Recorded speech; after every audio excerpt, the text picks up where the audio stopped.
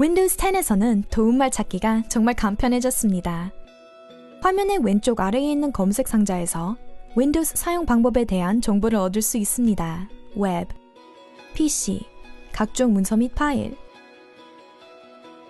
도움이 필요한 내용을 입력해 마이크로소프트가 제공하는 사용 설명서와 도움말 영상을 볼 수 있습니다. 혹은 앱 이름을 입력해 바로 열 수도 있습니다. 검색 상자에는 다양한 도움을 얻을 수 있는 특별한 개인 비서인 콜타나도 찾아볼 수 있습니다.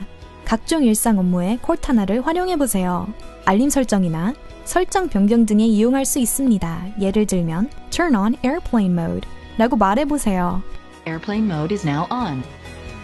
검색 상자는 언제든 필요한 도움을 얻을 수 있는 훌륭한 도우미입니다.